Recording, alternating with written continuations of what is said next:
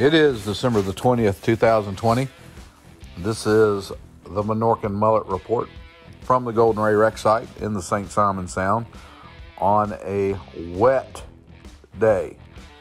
Uh, really no wind out on the Sound today, but rain started uh, in the afternoon and continued on through the evening. And of course, we made it out uh, about the time it started raining. And this is what we got for you today. We didn't see a lot of activity on the surface.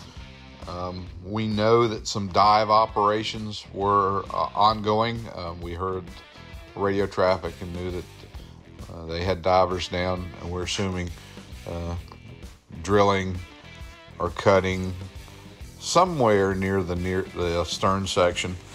Uh, we could see uh, the dive boats at the stern of the boat, um, uh, at the stern of the Golden Ray. When I say boat, so that, yeah, they were they were out there getting some things done, but not a lot of stuff going on on the surface. Uh, one thing we did notice again today that the uh, environment environmental barriers were still uh, not in uh, between piles six and five and 10 and 11. Those areas were still open. Um, I'm assuming this is for access for the, uh, the, crew boats that are going in and out. That's kind of different from what we, we saw previously while they were cutting. Um, maybe this is a tactic of theirs uh, since they're not cutting, just to open those sections up to allow access in and out without having to worry about moving the gates on the end. Not sure when they're going to get back started cutting. We've heard rumors now that it won't be until after uh, the first of the new year.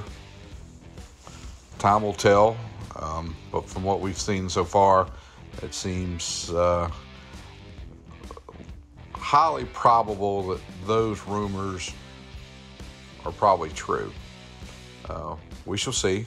No definite word from Unified Command, um, but from what we're what we're seeing out on the site, it looks like there are going to be some more delays until they're ready to move the VB 10,000 over that uh, stern section, uh, section 8, and begin the cutting operation. Now we've heard that they're going to start cutting uh, top side as well as bottom side. Um, don't know if those operations will will be ongoing simultaneously or whether there will be one and then the other. Uh, time will tell.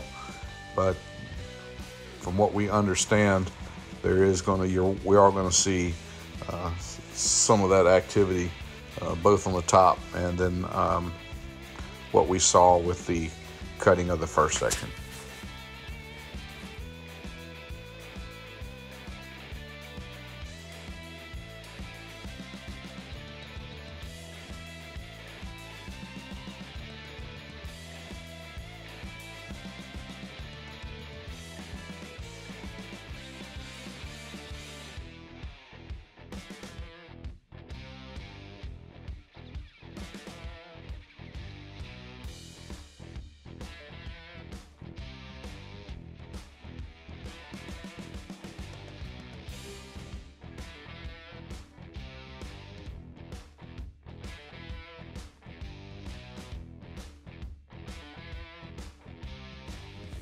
Now we've got some uh, close-ups, some zoom-ins for the um, dive operations. You can see some of the boats that we're working inside the environmental barrier uh, around the VB 10,000. Um, of course, Coast Guard has extended the 150 yard safety barrier out to 200 yards. So we have to pull back just a little bit farther. Um, we are able to get a few shots in there and see a little bit about what's going on. Um, we're going to have a couple shots here. Uh, there's pile six. Uh, we see the barrier not in place there.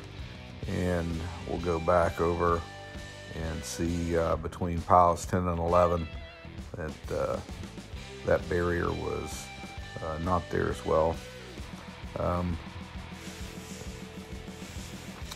not sure what that means. We were just under the impression that this was going to be a, once this ship got cut, we were really going to be protective of the uh, environmental barrier and um, not leave any gaps or anything like that. Here we see this guys, these guys are still open. Uh, it might all just be part of the plan, but just something we noticed, observations we made out on the site. Just trying to keep you guys up to breast of what we see.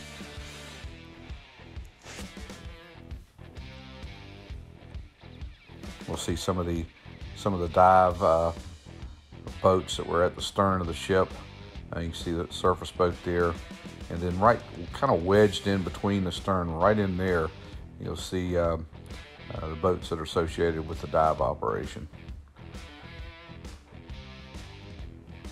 I'm sure this uh, these conditions are probably real favorable for the divers um, with, with pretty calm seas.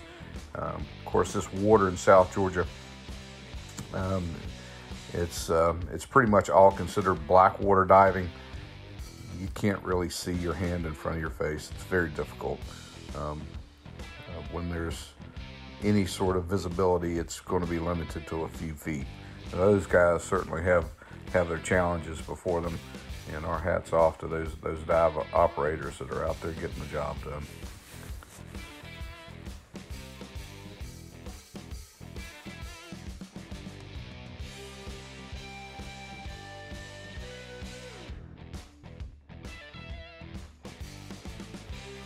Hey, we appreciate you guys staying with us and watching the channel. If you haven't done so yet, we ask that you hit the subscribe button. Uh, send us some comments. We love to get those. You guys stay safe out there.